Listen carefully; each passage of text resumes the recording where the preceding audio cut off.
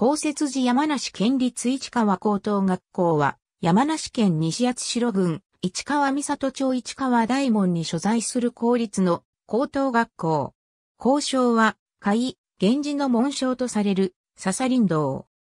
野球部は、県内有数の強豪で、これまで、選抜高等学校野球大会に3回、全国高等学校野球選手権大会に2回、出場している。特に1991年の選抜大会では2試合連続逆転サヨナラ勝ちを果たしてミラクル市川と称される。また、1998年の高校野球周期関東大会決勝では横浜高校の連勝記録を止めた高校としても有名。音楽部は全国屈指の実力を持つ合唱団であり、NHK 全国学校音楽コンクールや全日本合唱コンクールの県大会やブロック大会、全国大会で金賞を受賞するなど成績を残している。また、山梨県内の学校や公共施設などで訪問演奏、チャリティー活動などを行っている。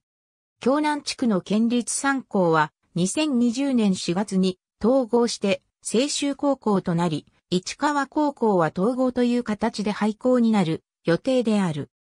1996年に山梨県教育委員会が県立高校の整備構想を策定した際、市川、増保省、京南の3校については統合し、総合学科高校を設立することが盛り込まれた。2005年に1万5000人以上の反対署名が集まるなどしたため2008年に一度は流れることになったが、京南地区の少子化、過疎化が進み各校とも大幅な定員割れが続いていることから、美濃部高校を含めた4校による統合が再度話し合われることになった。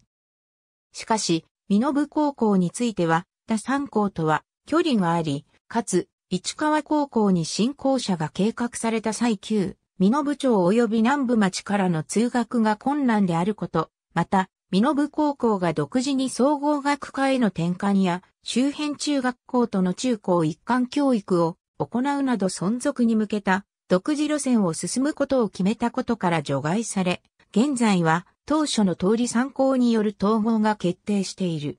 現在、市川高校とそれに隣接する市川三里町の施設を解体して用意される敷地に新校舎を建設中である。なお、市川を含めた京南県立三校は2019年度の新入学生を最後に募集を停止し、在校生が全員卒業したのと同時に廃校となる。ありがとうございます。